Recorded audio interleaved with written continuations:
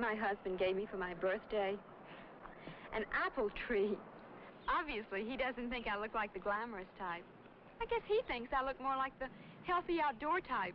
A wife and mother talks about healthy-looking skin and ivory soap.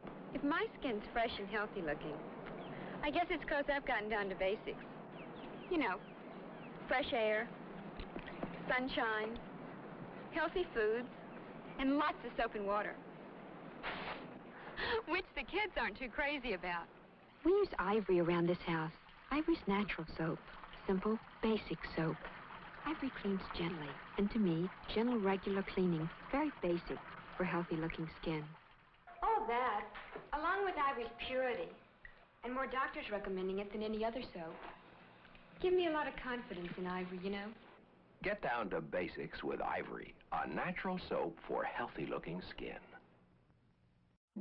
Wake up early. Slap on some cologne. I'm 85 and I want to go home. Working tech support on the next new phone. I'm 85 and I want to go home. So day, me say day, me say day, me say day.